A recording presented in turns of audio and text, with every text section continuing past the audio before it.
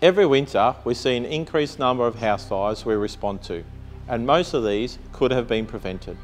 There are a few simple steps you can take to keep your family safe during the cooler months. Never leave cooking unattended and always supervise children around cooking. Fully extinguish fires and turn off heaters before you go to sleep or leave the house. Never leave devices on or charging on soft surfaces like sofas or beds. Finally, make sure all electrical items like heaters and cooking equipment are in good working order. Should a fire occur, make sure you and your household have a well prepared escape plan so you know what to do when a smoke alarm sounds. And for the best chance of any early detection and escape, we recommend installing interconnected smoke alarms in all living and sleeping areas.